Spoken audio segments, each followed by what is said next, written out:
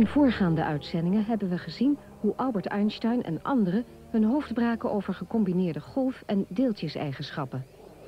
Die combinatie is ook van belang voor praktische toepassingen, zoals bijvoorbeeld lasers. Het principe van de laser werd ontdekt door Albert Einstein in 1916, toen hij probeerde te bewijzen dat lichtdeeltjes echt bestaan.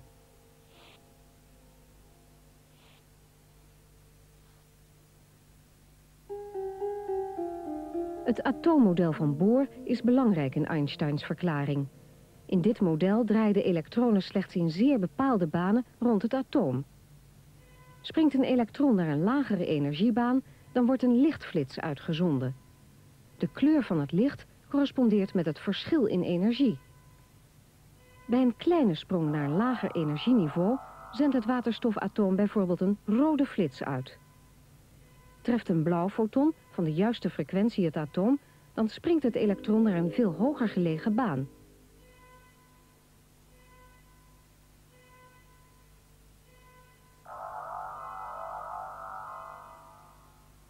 Einstein ging uit van atomen met slechts twee energietoestanden. Atomen in een lage energietoestand geven we een blauwe kleur. Fotonen geven we aan met een slangetje. Treft een foton een blauw atoom, dan kan absorptie optreden. Het atoom springt dan naar de hoge energietoestand die we met rood symboliseren. Een rood atoom kan een foton uitzenden, dan treedt emissie op. We kunnen ook meerdere fotonen tegelijk beschouwen. We gaan hier uit van een doosje met perfecte spiegels. Door invloed van buitenaf, zoals een elektrische spanning, kunnen we ervoor zorgen dat de meeste atomen een hoge energie hebben. Er gebeurt iets bijzonders als een foton een rood atoom treft. Dan kan het elektron naar de lagere energiebaan springen. Het invallend foton stimuleert zodoende de uitzending van een ander foton. Daarom heet dit effect gestimuleerde emissie. Het eigenaardige is dat beide fotonen evenwijdig bewegen. Zonder deeltjeseigenschappen van het licht valt dit niet te verklaren. Karakteristieke eigenschappen van lasers zijn in de eerste plaats de grote gerichtheid van het laserlicht wat uitgestraald wordt. In de tweede plaats de grote kleurzuiverheid die mogelijk is. Wat de gerichtheid of evenwijdigheid van de bundel, de lichtbundel betreft, die kun je prima gebruiken om op grote afstanden zeer nauwkeurig posities te bepalen. En anderzijds door met behulp van simpele optiek het laserlicht uh, op een plaats uh, te focuseren, zodat je zeer grote intensiteiten kunt bereiken. Wat de kleurzuiverheid betreft, die is van belang, in de eerste plaats van wetenschappelijk belang, voor het uh, onderzoek. Daarmee is het mogelijk om uh, spectroscopische eigenschappen van uh, gassen en vloeistoffen en vaste stoffen te bepalen. Een misschien niet karakteristiek, maar wel heel prettige eigenschap van lasers is dat je ze praktisch van alles, allerlei stoffen kunt maken. Je hebt lasers die, waarvan het actieve medium uit gas bestaat, uit vloeistoffen, uit vaste stoffen. En verder uh, liggen lasers, uh, laserfrequenties verspreid over het hele gebied van het elektromagnetische spectrum, van het ultraviolet tot in het ver infrarood. Nou, een merendeel van deze lasers, dat uh, is discreet. Dat zendt discrete golflengtes uit. Enkele van die lasers zijn continu verstembaar.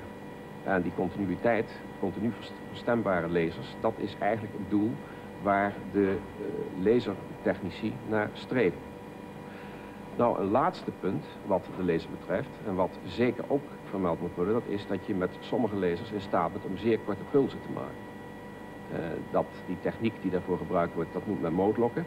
En de pulsen die je er dan uit kunt krijgen, die uh, kunnen variëren van nanoseconden tot picoseconden en femtoseconden de laser is in eerste instantie ontwikkeld als een zichtbare lichtbron. Vandaar het woord lasers. Maar een tweede aspect, en ik denk dat dat eigenlijk veel belangrijker is, is dat er uh, reeds uh, lange tijd uh, kleurstoffen bestonden. En die kleurstoffen, dat zijn organische verbindingen die zeer sterk licht absorberen. En dat is ook de reden waarom het kleurstoffen zijn. Nou, anderzijds kun je dan verwachten dat deze stoffen ook in staat zijn om uh, makkelijk uh, licht te geven. En op die manier is men dus uh, gekomen tot de ontdekking van de dye laser. Nou, die dielasers die hebben een dermate rijke structuur aan overgangen... dat daarin veel verschillende lasers voorkomen die zo vlak bij elkaar liggen... dat je ze dus eh, als een continu verstembare laser kunt beschouwen. wanneer je geïnteresseerd bent in uh, de spectroscopische eigenschappen van materialen... dan is het uh, heel belangrijk om continu verstembare lasers te hebben. Op dit moment gebeurt dat dus met uh, behulp van gewone lichtbronnen... die dus via monochromator ontleed worden in hun verschillende golflengtes. Nou, het resultaat is dan dat je dus beschikt over licht van een nauwe golflengte, maar met een lage intensiteit. Nou, uh, wanneer je dus nu in staat bent om continue verstembare lasers te maken, dan uh, heb je dus de beschikking over een lichtbron die op de eerste plaats dus veel op hoog oplosbare uh, spectrum geeft, maar op de tweede plaats ook een hoge intensiteit. Behalve grote lasers zijn er ook kleine, niet groter dan de kop van een lucifer. Deze miniatuurlasers zijn gemaakt van halfgeleidermateriaal.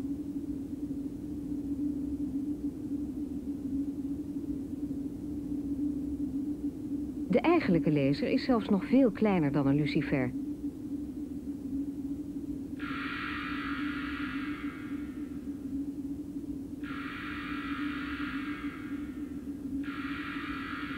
Zijn de voordelen van deze lasers? De voordelen van een halfgeleiderlaser zijn in de eerste plaats uh, de, het hoge rendement wat die laser heeft. Rendementen tot 40, 50 procent zijn mogelijk met halfgeleiderlasers. Als je dat vergelijkt met een argonlaser, waar het uh, rendement slechts een tiende procent is, dan is het duidelijk dat dat een enorm voordeel is.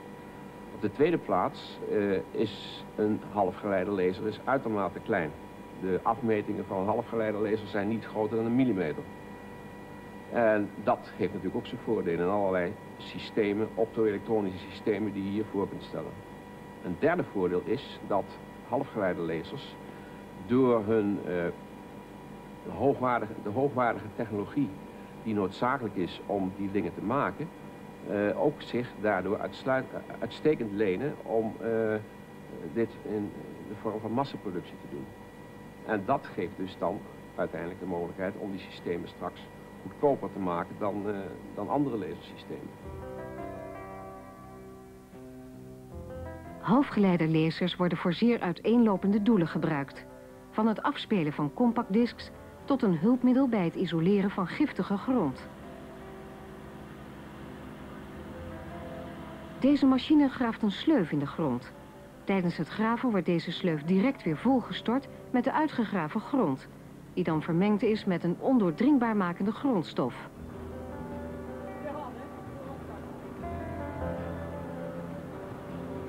Het graven van de sleuf is een zeer precies werk. Het moet namelijk kaarsrecht zijn, omdat anders de wanden niet meer op elkaar aansluiten.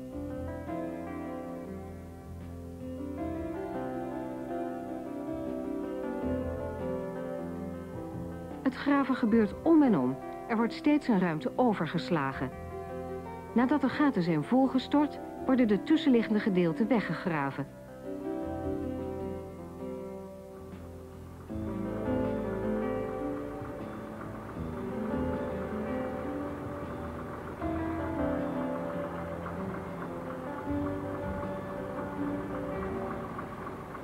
Met behulp van drie lasers wordt gecontroleerd of de machine nog precies recht naar beneden graaft. In het gravende gedeelte zitten drie halfgeleiderlasers die het laserlicht naar de top van de graafmachine sturen.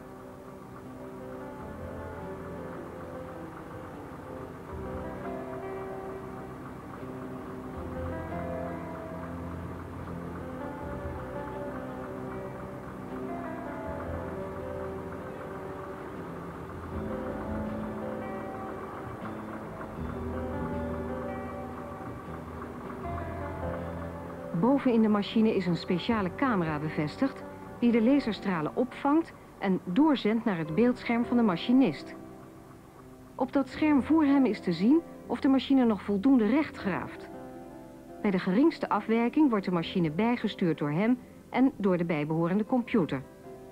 De hier gebruikte lasers hebben geen specifieke eigenschappen voor deze toepassing.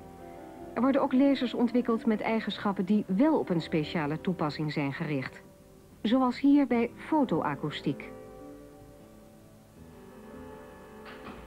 De bundel van een laser wordt beurtelings in de ene en de andere richting doorgelaten. We krijgen zodoende in twee verschillende richtingen onderbroken laserbundels.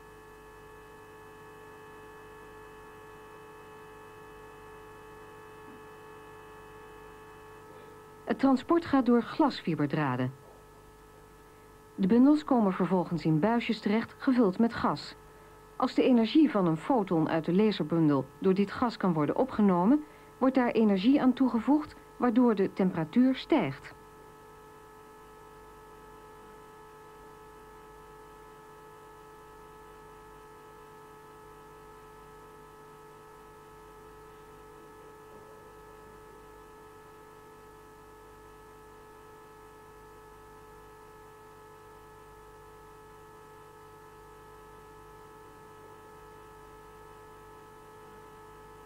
Doordat we een bundel hebben met afwisselend veel en geen fotonen... zal het gas voortdurend verhitten en afkoelen... waardoor drukpulsjes optreden... die door hele kleine microfoontjes waargenomen kunnen worden. Met het microfoontje kunnen we zodoende nagaan... of het laserlicht door het gas geabsorbeerd wordt. Absorptie treedt alleen op als de energie van de afzonderlijke fotonen... in de laserbundel gelijk is aan de energie die een bepaalde stof in het gas kan opnemen... Met deze laserbundel kunnen we de frequentie veranderen, maar we houden steeds een sterk monochromatische bundel. Dat betekent dat we steeds een bundel hebben van een duidelijk afgebakende frequentie. We kunnen de energie van de fotonen dus zeer nauwkeurig regelen, zodat we ook zeer precies kunnen bepalen welke frequenties geabsorbeerd worden. Zodoende kunnen we nagaan welke stoffen er in het gas zitten. Zeer geschikt dus voor het onderzoek naar luchtvervuiling. Deze methode is zeer gevoelig, als 1 op de 10 miljoen miljard deeltjes licht absorbeert, kunnen we dat al meten. Vooral bij het bepalen van zeer kleine concentraties verontreiniging met giftige stoffen kan deze meetmethode in de toekomst van groot belang zijn.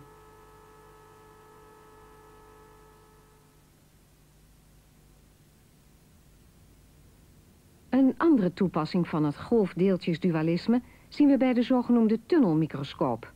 Als elektronen klassieke deeltjes zouden zijn, dus geen golfeigenschappen zouden hebben, zou deze tunnelmicroscoop niet bestaan. Het tunneleffect dat is een, het verschijnsel dat een of ander dingetje, voorwerpje, denk hier dus aan elektronen in dit geval, een andere klein deeltje, van de ene plaats naar een andere plaats gaat, zonder dat dat uh, mogelijk is op klassieke wijze. Dus eigenlijk het deeltje gaat door een barrière heen waar het niet doorheen mag. Dat kan dus alleen op kwantummechanische wijze en dat hangt dus samen met het feit dat deeltjes een golfkarakter hebben. En die golven laten zich niet zo mooi opsluiten als klassieke deeltjes. Die steken een beetje uit, buiten, ook door de barrières heen. En dat betekent dat het deeltje uh, op een andere plaats terecht kan komen waar het klassiek eigenlijk niet mag zijn. Licht dat onder een grote hoek op een grensvlak van glas en lucht valt, wordt volledig gereflecteerd. Met een tweede stuk glas verdwijnt het grensvlak feitelijk. Licht gaat dus ongestoord door. Passen de stukken niet precies tegen elkaar, dan gaat slechts een gedeelte van het licht door. Hoe groter de kloof, hoe minder licht doorgaat. Dit effect kunnen we demonstreren door twee stukken glas tegen elkaar te drukken. Hoe harder we drukken, hoe kleiner de afstand tussen de twee stukken wordt en hoe meer licht wordt doorgelaten. Het vermogen een kleine barrière te overbruggen is een typische eigenschap voor golven. Zonder kwantummechanica valt niet te verklaren dat ook elektronen barrières kunnen overbruggen. Een tunnelmicroscoop staat een heel klein naaldje die een voorwerp aftast. Dus laten we zeggen dat het tafelblad het voorwerp is wat afgetast moet worden. En dan gaat het naaldje eroverheen, zo lijn na lijn, tast het voorwerp af. En hoe doet hij dat? Je zou natuurlijk het naaldje echt kunnen laten raken. Dat zal we hier niet doen, want dan krijg ik allemaal zwarte strepen. Maar we zouden het echt kunnen laten raken. En uh, dan krijg je natuurlijk beschadiging van het naaldje van, van het uh, voorwerp. Dus dat zou niet goed werken. Wat er gedaan wordt, er wordt een metalen naaldje genomen en er wordt een tunnelstroom opgewekt tussen het naaldje en het preparaat. Die tunnelstroom die hangt enorm sterk af van de afstand tussen van het uh, naaldje en het preparaat. En dat betekent dat wanneer het naaldje een stapje in het voorwerp nadert, dan wordt die tunnelstroom veel groter. Dan via een of ander mechaniekje wordt dat gemeten en, en, uh, geregeld zodanig dat die tunnelstroom weer klein gemaakt wordt door het naaldje omhoog te trekken. Dus het naaldje gaat omhoog en gaat dan weer verder. En hier dreigt de tunnelstroom weer klein te worden. En dan wordt het naaldje weer naar beneden gebracht, zodat hij weer herstelt tot de oude waarde, die tunnelstroom, en dan gaat hij weer verder. Dus op die manier uh, scheert het naaldje dus over het oppervlak. En omdat die tunnelstroom zo geweldig gevoelig is voor de afstand, kun je ontzaglijk kleine hoogteverschillen kun je waarnemen. Hoogteverschillen die veel kleiner zijn dan een atoomdiameter. Dus dat is eigenlijk het principe waarop de tunnelmicroscoop gebaseerd is.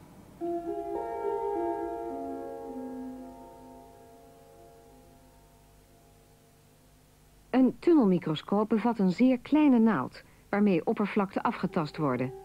We kunnen daardoor afzonderlijke atomen onderscheiden. Maar dat kan toch ook met een elektronenmicroscoop? De allerbeste elektronenmicroscopen hebben ook een heel hoog oplossend vermogen die de tunnelmicroscoop benadert. Dus, maar er zijn toch een paar belangrijke verschillen. Met de tunnelmicroscoop kijk je echt naar de buitenkant van het preparaat. Dus als ik hier zo overheen ga met een naaldje, zie ik alleen de buitenkant en niet wat, er, wat daaronder zit. Met een elektronenmicroscoop, de allerbeste, haal je alleen hetzelfde hoge oplossend vermogen, dus waar je echt atomen zou kunnen zien.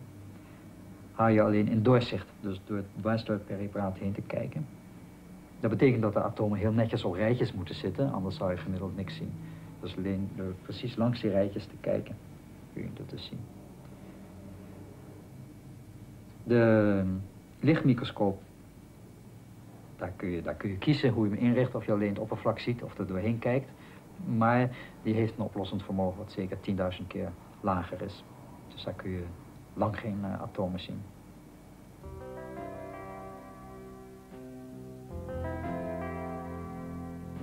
De mens wil ook graag die dingen zien die voor het oog verborgen blijven.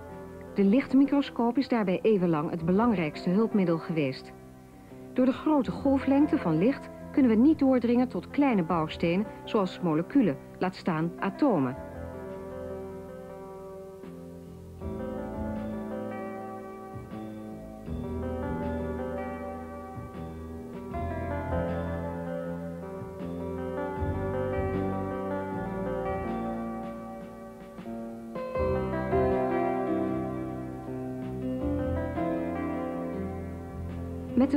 De tunnelmicroscoop is dit probleem voor een gedeelte opgelost.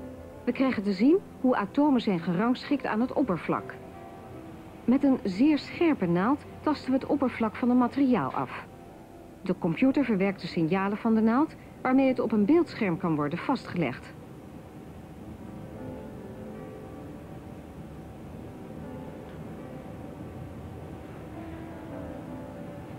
Elk materiaal heeft zijn eigen specifieke atomaire structuur. De tunnelmicroscopie bestaat nog maar kort. Toch zijn er al bijzondere ontdekkingen mee gedaan.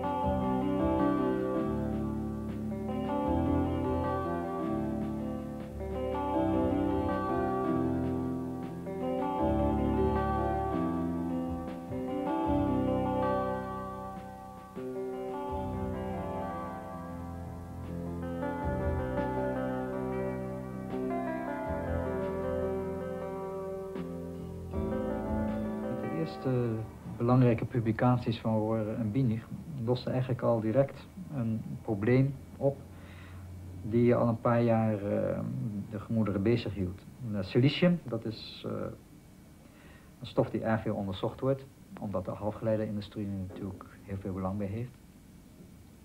En het oppervlak van silicium moet men heel goed kennen om de chips als ware op te kunnen bouwen. Laag voor laag voor laag wordt er vaak aangebracht materiaal. En we moeten dus weten hoe dat oppervlak eruit ziet. het was bekend dat het oppervlak van silicium een bepaalde ingewikkelde structuur heeft, die men de 7 bij 7 structuur noemde, om aan te geven hoeveel atomen in zo'n eenheidscel zit in dat oppervlak. Het was bekend dat die structuur er was, maar men had wel twintig verschillende modellen om dat te beschrijven en men wist niet welk model de goede was. En dat eerste resultaat van Warren Wienig aan dat silicium die liet hij direct zien welk van die modellen het goede was. Dus je had direct een uh, belangrijk uh, fysische resultaat al in de allereerste metingen. En dat is zo doorgegaan na die tijd. Niet alleen de vorm van het oppervlak, maar ook waar gaan die elektronen heen als ze tunnelen? Waar zitten ze graag in dat preparaat? En welk stuk van het preparaat gaan ze niet graag heen? Kun je onderzoeken door die tunnelstroom te bekijken, afhankelijk van uh, de richting van de stroom. Of je de ene kant uit laat lopen of de andere kant uit laat lopen. Als je de elektronen laat lopen van de naald naar het preparaat toe, dan zie je dat het tunneleffect groot is. Boven die uh, elementen in dat preparaat, waar een soort gebrek aan de elektronen is, zou je kunnen zeggen, waar ze uh, elektronische aanzuiging plaatsvindt. En daar waar ze juist een soort elektronenafstoting is, dan zie je dat de tunnelstroom dan moeilijk is. Draai de polariteit om, dan is het juist andersom. En als je die twee beelden dan vergelijkt, dan kun je heel precies zien de elektronische structuur van die oppervlakken. Dus niet alleen de vorm, maar ook de elektronische structuur. En uh, dat, daar heeft men al heel veel van geleerd voor het overgouden mycene. Waar uh, onzuiverheden kunnen zitten. Men kan dan precies zien wat de aard is van die onzuiverheden. Bij een spanningsverschil tussen de naald en het oppervlak loopt er een elektronenstroom. Wordt de afstand door een onregelmatigheid kleiner, dan neemt de stroom toe. Dit wordt gecorrigeerd door de naald naar boven te trekken. Wat er gebruikt wordt om dat naaldje te bewegen, dus je moet die beweging maken. Je moet dus over het oppervlak scannen. Je moet die stapjes omhoog kunnen maken als er een, een regeltje aankomt. Dat wordt gedaan met behulp van piezoelektrische uh, kristallen. Dat zijn kristallen die hun vorm veranderen, langer of korter worden als er spanning wordt opgezet. En die zijn eigenlijk heel ongevoelig, wat dus prettig is voor ons. Dat betekent, je moet met grote spanningen werken om hele kleine bewegingen te kunnen maken. Dus dat is heel makkelijk. Dus het is makkelijk om een kleine beweging te maken. Dat is eigenlijk makkelijker dan om een grote beweging te maken. Het probleem is natuurlijk dat er ook ongewenste bewegingen van buitenaf uh, aankomen. Dus laten we zeggen, uh, je hebt het preparaat, het naaldje. Dan zijn er twee oorzaken die... Uh, ongewenste bewegingen geven. De trillingen, dus het, de zaak trilt. En waarom trilt het? Omdat het gebouw trilt bijvoorbeeld en, en de aarde trilt. En, en, die trillingen die zijn heel erg groot. Dus laten we afschatten ruw. De trillingen van een gebouw die zijn ongeveer 100.000 keer groter dan de bewegingen van het fijne bewegingen van het naaldje die je eigenlijk wil maken. Dus je moet die trillingen ontzaglijk sterk onderdrukken. Ander probleem zijn de uitzettingscoëfficiënten. Als de temperatuur verandert, dan zet alles uit of krimpt. En dan uh, krijg je dus ook een verplaatsing van een naaldje ten opzichte van het preparaat. En die verplaatsing kan ook groot zijn. Nou, om die trillingen te, op te heffen, dat is, dat is eigenlijk het moeilijkste probleem geweest bij de ontwikkeling van de tunnelmicroscoop. Je kunt rustig zeggen, als dat probleem er niet geweest was, dan was de tunnelmicroscoop zeker tien jaar eerder uh, tot stand gekomen. Maar uh, die trillingen hebben het dus opgehouden. Er zijn diverse oplossingen nu voor gevonden. Een oplossing die we hier in Nijmegen toepassen, dat is niet zozeer de trillingen tegenhouden, maar proberen te maken dat het uh, microscoopje ongevoelig wordt voor trillingen. dat doe je als volgt, als dit alleen weer het preparaat is en dit is het naaldje, dan interesseert je eigenlijk niet zozeer wat die twee dingen doen, als ze ten opzichte van elkaar maar heel rustig blijven. Dus wat je maakt is een hele starre verbinding tussen het naaldje en het preparaat. En als er nu trillingen komen van buitenaf, want dat gebouw trilt, dan gaan ze samen heen en weer. En dat betekent dus dat de onderlinge afstand uh, eigenlijk niet hoeft te veranderen. En dat werkt heel goed. We kunnen een schop tegen tegen het apparaat en waar het uh, wat aan veren in hangt. Dat doen we als het niet goed werkt. En dan, uh, en dan zie je dus dat het hele zaak heen en weer schommelt. Kun je gewoon met blote oog zien, millimeters heen en weer. Maar ondertussen blijft het naaldje en het preparaat op een paar engstrum of één engstrum nauwkeurig ten opzichte van elkaar in rust. Dus de hele zaak gaat inderdaad millimeters op en neer zonder dat er iets verandert. En dat, dat werkt, dat werkt redelijk goed. als je kijkt naar die punt, die hangt boven het preparaat. Die punt is heel klein. Dat betekent als één elektron getunneld heeft, dan kan er niet zomaar het volgende elektron tunnelen. Dan moet eerst die lading weer opbouwen, doordat het toegevoerd wordt van buitenaf. En dat uh, betekent dat je een soort rustpauze dan hebt waarin geen tunnelproces mag plaatsvinden. Eerst moet die lading toegevoerd worden en dan mag die weer springen. Dus als je hier de spanning zou waarnemen als functie van de tijd, dan zie je dat die spanning toeneemt totdat er ongeveer een half elektronlading te veel is in het puntje. Dan springt er een elektron over en dan uh, herhaalt het proces zich. Door dit proces te bestuderen is eigenlijk een heel nieuw gebied van fysica aangeboord. Dan moet je dus gaan afvragen, waarom merkt het tunnelende elektron alleen maar dit kleine puntje als zijn directe omgeving? Waarom merkt hij niet dat er ook nog een hele buitenwereld aan vastzit? Blijkt dat een tunnelproces inderdaad door die kleine omgeving beïnvloed wordt, volgens onze experimenten. En dat betekent dus dat het tunnelende elektron alleen maar contact heeft met een heel klein stukje van de omgeving. En wel een stukje waarvan je ruwweg kunt zeggen, dat zo klein, waarvan de grootte bepaald wordt door, uh, door de invloedssfeer van de tunnelende elektron. Je zou het ook met andere woorden uh, kunnen zeggen, waar het om gaat is dat het elektron niet verder kan kijken dan zijn neus lang is. En de vraag is eigenlijk, hoe lang is het neusje van het elektron. Maar dat is een heel nieuw gebied, want dan moet je eigenlijk een combinatie maken van de kwantummechanica en de leer van de, van de elektrische velden, dus eh, elektrodynamica. En die combinatie is eigenlijk nog niet goed uitgewerkt voor dit soort problemen.